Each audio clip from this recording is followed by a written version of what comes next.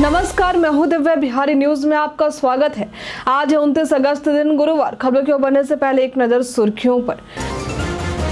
बिहार के सभी डीसीएलआर को राजस्व विभाग ने भेजा लेटर बिहार में शिक्षकों की ट्रांसफ़र पोस्टिंग को लेकर शिक्षा मंत्री का बड़ा बयान। महिलाओं की सुरक्षा के लिए बिहार सरकार की बड़ी पहल। बिहार के अठारह शहरों में खुलेंगे एफएम रेडियो सभी जिलों के स्कूलों का जिलाधिकारी करेंगे निरीक्षण। शिक्षा विभाग ने दिए निर्देश। एलएसजी के मेंटर बने पूर्व तेज गेंदबाज जहीर खान। चलिए बढ़ते हैं अब तक के 25 बड़ी खबरों की ओर विस्तार से। आठवीं पास वालों के लिए निकली भर्ती। जल्द करे आवेदन। पंजाब और हरियाणा हाईकोर्ट ने चंडीगढ़ में चपरासी के पदों पर भर्ती निकाली है। ये भर्ती कुल 300 पदों के लिए है। आवेदन प्रक्रिया शुरू है और आवेदन करने की अंतिम तिथि 20 सितंबर है। इच्छुक उम्मीदवार इसकी आधिकारिक website high court C H D dot dot I N पर जाकर आवेदन कर सकते हैं। इस भर्ती के लिए ज़रूरी है कि उम्मीदवारों ने कम से कम आठवीं और अधिकतम बारहवीं पास की हो। उम्मीदवारों की आयु सीमा अठारह से पैंतीस वर्ष के बीच में होनी चाहिए। भर्ती से संबंधित सटीक और अधिक जानकारी के लिए आप इसके आधिकारिक वेबसाइट और अधिसूचना को देख सकते हैं। महिलाओं की सुरक्षा के लिए बिहार सरकार की बड़ी पहल। बिहार सरकार ने महिलाओं की सुरक्षित यात्रा के लिए इमरजेंसी हेल्पलाइन नंबर 112 पर सुरक्षित सफ़र सुविधा शुरू की है। इस पहल के तहत अगर महिलाएँ यात्रा के दौरान असुरक्षित महसूस करें तो वे 112 पर कॉल करके पुलिस से सुरक्षा मांग सकती हैं। ये सुविधा 5 सितंबर से पटना, गया, नालंदा, मुजफ्फरपुर, बेगूसराय और भागलपुर में लागू होगी और पंद्रह सितंबर से राज्य भर में शुरू की जाएगी। महिलाओं के खिलाफ अपराध के हालात चिंता चिंताजनक है। 2023 में राष्ट्रीय महिला आयोग को बिहार में 1312 शिकायतें मिली थी और एनसीआरबी के 2022 के रिपोर्ट के अनुसार महिलाओं के खिलाफ 4.45 लाख अपराध दर्ज हुए। महिलाएँ मदद मांगने के लिए 112 नंबर डायल करेंगी। ये स्मार्टफ़ोन में पावर बटन को लगातार तीन बार दबाने से भी खुद ही 112 पर कॉल लग जाएगा। यदि आपके पास साधारण फ़ोन है तो उसके लिए आप लगातार पाँच या नौ नंबर बटन भी दबाए रख सकते हैं। यदि आपने 112 इंडिया मोबाइल ऐप डाउनलोड कर रखा है तो यहाँ S H O U T यानी साउट बटन दबाएँ, जिससे इसके आसपास के वॉलेंटियर भी अलर्ट हो जाएँगे और तुरंत आपकी मदद के लिए पहुँचेंगे। बिहार पर्यटन में आज हम बात करेंगे सिवान के बारे में। ये बिहार के प्रसिद्ध जिलों में से एक है, जो प्राचीन समय में कोसाल, जो प्राचीन समय में कोसाल साम्राज्य का एक हिस्सा हुआ करता था। इस ज़िले में डॉक्टर राजेंद्र प्रसाद का जन्म हुआ था। यहाँ ऐतिहासिक से लेकर धार्मिक और कई पर्यटन स्थल हैं, जहाँ आप घूमने जा सकते हैं। इसमें सबसे पहले जिरादीप जहाँ राजेंद्र प्रसाद का आवास है, यहाँ आप इनसे जुड़ी कई चीज़ें देख सकते हैं। इसके अलावा मौलाना मजहरुल हक का मूल निवास आसियाना आनंद बाग, मठ, महेंद्रनाथ मंदिर, रघुनाथपुर भिकबंद पंचमुखी शिवलिंग आदि शामिल हैं। यदि आप कभी सिवान जाने की प्लानिंग बनाते हैं तो इन स्थानों पर घूमने के लिए जा सकते हैं। बिहार के सभी डीसीएलआर को राजस्व विभाग ने भेजा लेटर। राजस्व एवं भूमि सुधार विभाग राज्य के भूमि सुधार उप समाहर्ताओं को एक सप्ताह का अनिवार्य प्रशिक्षण देने जा रहा है। इसमें उन्हें भूमि सर्वेक्षण सहित विभाग की अन्य सेवाओं के बारे में बताया जाएगा। इनके कार्यान्वयन के तौर तरीकों के बारे में समझाया जाएगा।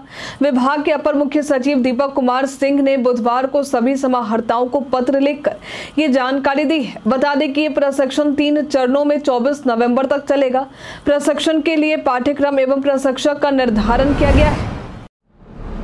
आज सीएम नीतीश राष्ट्रीय खेल दिवस के मौके पर बिहार खेल अकेडमी का करेंगे उद्घाटन। आज सीएम नीतीश कुमार राष्ट्रीय खेल दिवस के मौके पर बिहार खेल अकेडमी का उद्घाटन करने वाले हैं। राजगीर में नवनिर्मित राज्य खेल अकेडमी में विश्वविद्यालय का संचालन किया जाएगा। ये बिहार का पहला खेल विश्वविद्यालय है। इस विश्वविद्यालय के कुलपति सह रजिस्ट्रार आई एस रजनीकांत नियुक्त किए गए हैं। इस संबंध में अधिसूचना भी जारी हो चुकी है। इस संबंध में कुमार रवि और बी राजेंद्र ने जानकारी दी है कि राजगीर में खेल अकेडमी और क्रिकेट स्टेडियम के संचालन के लिए इक्यासी अस्थायी और तैतीस संविदा पर कर्मचारी नियुक्त किए जाएँगे। जहाँ निदेशक उप निदेशक सहायक निदेशक, कोच, मीडिया प्रभारी, dietitian, scientific officer, librarian, massager, योग गुरु और योग प्रोफेशनल जैसे पद शामिल हैं। बिहार में शिक्षकों की ट्रांसफ़र पोस्टिंग को लेकर शिक्षा मंत्री का बड़ा बयान। बिहार में शिक्षकों की ट्रांसफ़र पोस्टिंग को लेकर शिक्षा मंत्री सुनील कुमार ने बड़ा बयान दिया है। उन्होंने कहा है कि ये कार्य अभी प्रक्रियाधीन है।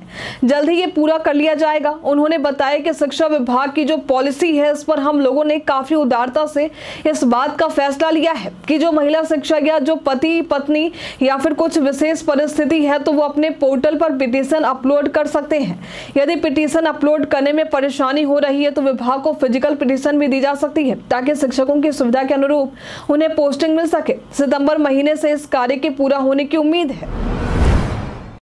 प्रदेश के सभी जिलाधिकारी सरकार को सौंपेंगे जाँच लैब रिपोर्ट। प्रदेश के सभी जिलाधिकारी को निर्देश दिया गया है कि वे अपने जिलों से की जाँच लैब रिपोर्ट प्रदेश सरकार को सौंपे। इस संबंध में सभी जिलाधिकारियों को स्वास्थ्य विभाग के विशेष सचिव शशांक सिन्हा ने पत्र भेजा है। इस रिपोर्ट में जिलाधिकारी बताएँगे कि उनके ज़िले में पैथोलॉजी लैब के साथ x ray, ultrasound, CT scan और एमआरआई के कितने लैब हैं? सभी लैब मानकों का अनुपालन कर रहे हैं या नहीं? पत्र के ज़रिए विशेष सचिव ने कहा है कि सर्वोच्च न्यायालय से जुड़े एक मामले में कोर्ट को ये जानकारी देनी है कि जिलों में कितने मानक स्वास्थ्य जाँच घर हैं। सभी जिलाधिकारी अपने जिलों के जिला एवं सत्र न्यायाधीश और सिविल सर्जन के साथ समन्वय करके आवश्यक सुविधाओं के साथ मानक जाँच घरों को सूचीबद्ध करते हुए सरकार को जाँच घरों की जानकारी भेजें ताकि कोर्ट को इस संबंध में जानकारी दी जा सके।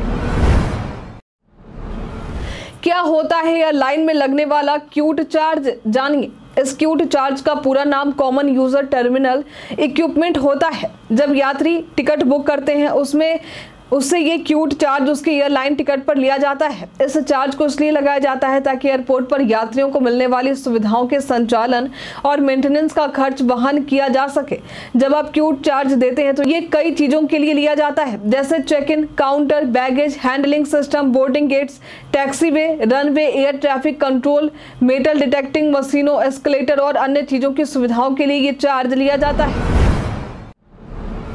बीपीएससी टीआरई 3.0 2024 की प्रोविजनल आंसर की जारी। बिहार लोक सेवा आयोग ने बीपीएससी टीआरई 3.0 2024 की प्रोविजनल आंसर की को जारी कर दिया है। जो भी उम्मीदवार इस परीक्षा के लिए उपस्थित थे, वे बीपीएससी की आधिकारिक वेबसाइट bpsc.bih.nic.in पर जाकर आंसर की डाउनलोड कर सकते हैं। ये आंसर की वन टू फाइव के लिए वेबसाइट पर अपलोड की गई है। इसके अलावा उम्मीदवार हमारे स्क्रीन पर दिखाए गए लिंक www.bpsc.bih.nic.in पर जाकर बीपीएससी टीआरई 3.0 की आंसर की को चेक कर सकते हैं। बिहार के प्रशासनिक सेवा में हुआ बड़ा फेरबदल। बिहार के प्रशासनिक सेवा में हुआ बड़ा फेरबदल। बिहार में एक बार फिर से प्रशासनिक सेवा में राज्य सरकार द्वारा फेरबदल किया गया है। इसके तहत सामान्य प्रशासन विभाग ने 25 अधिकारियों के तबादले की अधिसूचना जारी की है, जिसमें पता चला है कि 14 आईएएस अफसरों को नई ज़िम्मेदारी दी गई है। वहीं 11 अधिकारियों को वर्तमान पद से मुक्त कर पदस्थापना की प्रतीक्षा में रखा गया है। इसके अलावा भारतीय पुलिस सेवा के अधिकारी और बिहार खेल प्राधिकरण के सचिव पंकज कुमार राज की सेवा वापस गृह विभाग को सौंप दी गई है। बिहार के इन अठारह शहरों में खुलेंगे एफएम रेडियो। बिहार के अठारह शहरों में नए एफएम खुलने वाले हैं। वहीं पूरे देश में दो सौ चौंतीस शहरों में नए निजी एफएम रेडियो खोलेंगे इसके लिए केंद्र सरकार की तरफ़ से मंजूरी दे दी गई है इन रेडियो चैनलों से स्थानीय भाषाओं को भी प्रोत्साहन मिलेगा ये एफएम रेडियो बिहार में आरा में तीन औरंगाबाद में तीन बगहा में तीन बेगूसराय में तीन बेतिया में तीन भागलपुर में चार बिहार शरीफ में तीन छपरा में तीन दरभंगा में तीन गया में चार किशनगंज में तीन मोतिहारी में तीन मुंगेर में तीन पूर्णिया में चार सहरसा में तीन सासाराम में तीन सीतामढ़ी में तीन और सिवान में तीन रेडियो स्टेशन शामिल प्रदेश में बिजली आपूर्ति की गुणवत्ता में होगा सुधार, होने जा रहा है ये बड़ा काम। बिजली आपूर्ति की गुणवत्ता में प्रदेश के डेढ़ दर्जन जिलों में सुधार किया जा रहा है। बिजली आपूर्ति की गुणवत्ता में सुधार हो सके इसके लिए 132 केवी में नए ट्रांसमिशन तार बिछाए जाएँगे और पुराने तारों को बदला जाएगा। इस कार्य में होने वाले संभावित हादसों पर भी रोक लगेगी। इस कार्य के लिए बिजली कंपनी द्वारा चार सौ दो करोड़ रुपए खर्च किए जाएँगे। ये सभी काम एक साल के अंदर करने का लक्ष्य रखा गया है। एक 332 केवी डबल सर्किट टावर पर तार कंपनी द्वारा भभुआ मोहनिया, पीरो विक्रमगंज, महाराजगंज, मसरख, महनार, जंदाहा, पोपरी, बेनीपट्टी, बेनीपुर, कुशेश्वर स्थान, चकिया, मोतीपुर, शाह पटोरी, समस्तीपुर, पकड़ी, दयाल, डांका, तेघरा, बेगूसराय, सोनबरसा, सिमरी, बख्तियारपुर और किशनगंज, बारसोई के बीच बिछाया जाएगा। बिहार के पारस मनी ने अमिताभ बच्चन के प्रसिद्ध शो केबीसी में मनवाया अपना लोहा। टीवी के लोकप्रिय गेम शो कौन बनेगा करोड़पति में? बिहार के मुजफ्फरपुर के पारस मनी ने अपनी प्रतिभा का लोहा मनवाया है। ई रिक्शा चालक पारस मनी ने इंडिया चैलेंजर्स वीक में फास्टेस्ट पाँच का विजेता बनकर अमिताभ बच्चन के साथ हॉट सीट पर बैठने का मौका पाया। बीस सालों से केबीसी में भाग लेने का सपना देखने वाले पारस मनी ने बारह लाख पचास हज़ार रुपए की राशि जीती।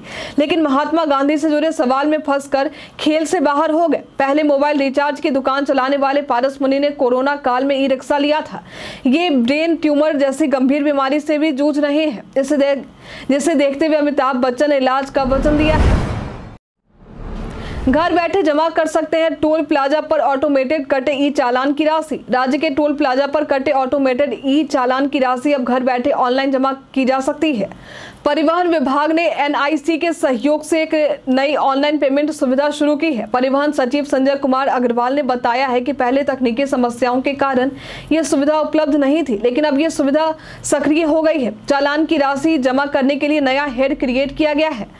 ई डिटेक्शन प्रणाली के तहत फिटनेस, बीमा और प्रदूषण संबंधी उल्लंघनों पर चालान काटे जा रहे हैं। सात से बाईस अगस्त के बीच में सत्रह हज़ार तीन सौ उनचास वाहनों का चालान हुआ है। चालान की राशि जमा करने के लिए Parivahan dot gov dot I N या e challan dot gov dot I N पर जाना होता है। पटना आनंद विहार के लिए चलेंगी ये स्पेशल ट्रेनें दूसरे राज्य में रहने वाले लाखों लोग पर्व त्योहार में बिहार आते हैं। लोगों के आवागमन का सबसे बढ़िया माध्यम ट्रेन ही होता है। लेकिन ऐसे समय में कई बार कंफर्म टिकट मिलना तक मुश्किल हो जाता है। इसी को देखते हुए हर साल स्पेशल ट्रेनें चलाई जाती हैं। एक बार फिर से रेल मंत्रालय की तरफ़ से यात्रियों के लिए स्पेशल ट्रेन चलाने का ऐलान किया गया है। ये ट्रेनें पटना दानापुर से आनंद विहार के लिए चलाई जाएँगी, जिसमें शून्य दो तीन नौ एक पटना दानापुर से आनंद विहार स्पेशल 5 अक्टूबर से 9 नवंबर तक। प्रत्येक शनिवार को पटना से और शून्य दो तीन, नौ दो आनंद विहार, पटना स्पेशल 6 अक्टूबर से 10 नवंबर तक प्रत्येक रविवार को आनंद विहार से चलेंगी। शून्य तीन, दो पाँच पाँच, पटना आनंद विहार स्पेशल तीन अक्टूबर से चौदह नवंबर तक। प्रत्येक गुरुवार एवं रविवार को पटना से तथा शून्य तीन, दो पाँच छः आनंद विहार, पटना स्पेशल चार अक्टूबर से पंद्रह नवंबर तक प्रत्येक शुक्रवार एवं सोमवार को आनंद विहार से चलेंगी। शून्य तीन, दो पाँच सात।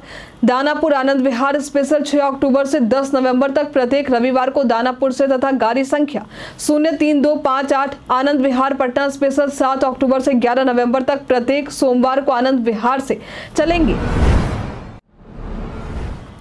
सभी जिलों के स्कूलों का जिलाधिकारी करेंगे निरीक्षण। शिक्षा विभाग ने दिए निर्देश। बिहार के सरकारी स्कूलों में पढ़ाई लिखाई से लेकर शिक्षकों की अटेंडेंस आदि की मॉनिटरिंग के लिए नई व्यवस्था बनाई जा रही है। नई व्यवस्था के तहत स्कूल के मॉनिटरिंग जिला और राज्य दोनों ही स्तरों से किए जाएँगे। दोनों की जाँच रिपोर्ट का मिलान शिक्षा विभाग मुख्यालय स्तर से किया जाएगा। यदि इस दौरान किसी अधिकारी की लापरवाही पाई जाती है तो उनके खिलाफ सख्त कार्रवाई की जाएगी।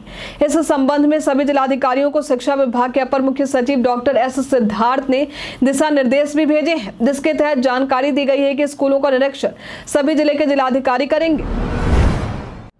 जाने प्रदेश में आज मौसम का मिजाज। बिहार के कई जिलों में बारिश की स्थिति देखने को मिल रही है। आज भी प्रदेश में कुछ जगहों पर बारिश की संभावना जताई गई है। हालाँकि आज मौसम विभाग की तरफ़ से किसी तरह की चेतावनी नहीं दी गई है। आज प्रदेश में कुछ जगहों पर अधिकतम तापमान चौतीस से छत्तीस डिग्री और कुछ जगहों पर बत्तीस से चौतीस डिग्री रहने की बात कही गई है। वही न्यूनतम तापमान चौबीस से छब्बीस डिग्री तो कुछ जगहों पर अट्ठाईस से तीस डिग्री रहने की बात कही गई है। पुरानी गाड़ी को स्क्रैप करने पर नए व्हीकल में मिलेगी छूट। केंद्रीय मंत्री नितिन गडकरी ने पुराने वाहनों को स्क्रैप करने और नए वाहनों की खरीद पर छूट की घोषणा की है।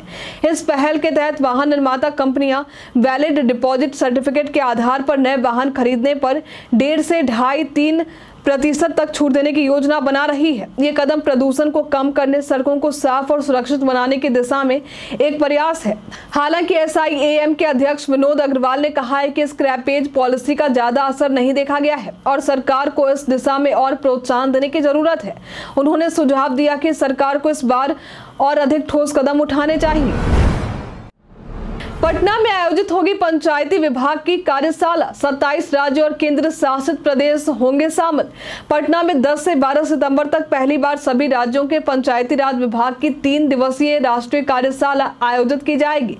इसमें बिहार सहित 27 राज्यों और पाँच केंद्र शासित प्रदेशों के लगभग 800 प्रतिनिधि शामिल होंगे। केंद्रीय पंचायती राज मंत्री राजीव रंजन सिंह उर्फ़ ललन सिंह उद्घाटन करेंगे। अब तक छह राज्यों में राष्ट्रीय कार्यशाला हो चुकी है और इस बार का थीम सामाजिक रूप से न्यायपूर्ण और सामाजिक रूप से सुरक्षित पंचायत रखा गया है। कार्यशाला में विभिन्न राज्यों के नवाचारी प्रयोगों पर चर्चा होगी।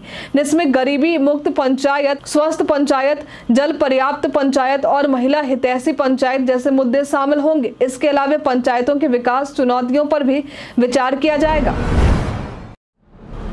अब शहर में घर बनाना पड़ेगा महँगा। श्रम संसाधन विभाग लेगा टैक्स। अब शहर में घर बनाने वालों को महँगा पड़ने वाला है। दरअसल, शहर में घर बनाने वालों को श्रम संसाधन विभाग को श्रम शेष यानी टैक्स देने होंगे। टैक्स देने का प्रावधान सरकार कड़े रूप से लागू करने की तैयारी कर रही है। श्रम संसाधन मंत्री संतोष सिंह ने जानकारी दी है कि 10 लाख से अधिक के मकान पर सेंस चार्ज लगेगा, जो कुल राशि का एक प्रतिशत होगा। मंत्री ने कहा है कि हमारे मजदूर आपको ताजमहल जैसा घर बनाकर देते हैं तो उनकी भलाई के लिए कुछ पैसा दीजिए। इस सेस से बिहार सरकार मजदूरों के हित में योजना लाती है। राज्यपाल ने विदेश के विश्वविद्यालयों का, राज्य के विश्वविद्यालयों से एमओयू करने की कही बात। भारतीय विदेश सेवा के अधिकारियों ने मंगलवार को राज्यपाल राजेंद्र विश्वनाथ आरलेकर से राजभवन में मुलाकात की थी। ये मुलाकात शिष्टाचार मुलाकात रही। इस दौरान राज्यपाल ने अधिकारियों से कहा कि बिहार में कृषि उद्योग, पर्यटन आदि क्षेत्रों के विकास की असीम संभावनाएँ हैं। राज्य के विश्वविद्यालयों का, विदेश के विश्वविद्यालयों के साथ उच्च शिक्षा के विकास और गुणवत्ता सुधार के लिए एमओयू होना चाहिए। चाहिए प्रदेश में बढ़ती आपराधिक घटनाओं पर तेजस्वी यादव ने खड़े किए सवाल। प्रदेश में होने वाली आपराधिक घटनाओं पर तेजस्वी यादव ने सवाल खड़े किए हैं। नेता प्रतिपक्ष ने कहा है कि सभी को पता है कि कैसे होता है, क्या होता है। ये किसी से छिपा नहीं है। बिहार में अपराध तेज़ी से बढ़ रहा है। आगे उन्होंने सवाल खड़े करते हुए कहा कि डीजीपी को क्या पावर है? लॉ एंड ऑर्डर बिगड़ता जा रहा है। मुख्यमंत्री के आसपास जो चमचे हैं, वे सभी सिफारिश करते हैं। परफॉर्मेंस बेस्ड काम होनी चाहिए, लेकिन अच्छा काम करने वाले अफसरों को बिहार में सजा मिल जाती है। एलएसडी के मेंटोर बने पूर्व तेज गेंदबाज जहीर खान। लखनऊ सुपर जायंट्स ने आईपीएल 2025 मेगा ऑक्शन से पहले भारत के पूर्व तेज गेंदबाज जहीर खान को अपनी टीम का मेंटोर बनाया है। जहीर खान आईपीएल 2025 में पूरे दो साल बाद वापसी कर रहे हैं। 2018 से 2022 तक जहीर मुंबई इंडियंस से जुड़े हुए थे। आपको बता दें कि इससे पहले गौतम गंभीर इस पद पर थे, लेकिन के में जाने के बाद ये पद खाली हो चुका था, जिसके बाद जहीर खान इस पद के लिए चुने गए हैं। बीते दिन प्रेस कॉन्फ्रेंस कॉन्फ्रेंस के दौरान कलकत्ता में जहीर को नीली जर्सी देकर टीम में शामिल किया गया है।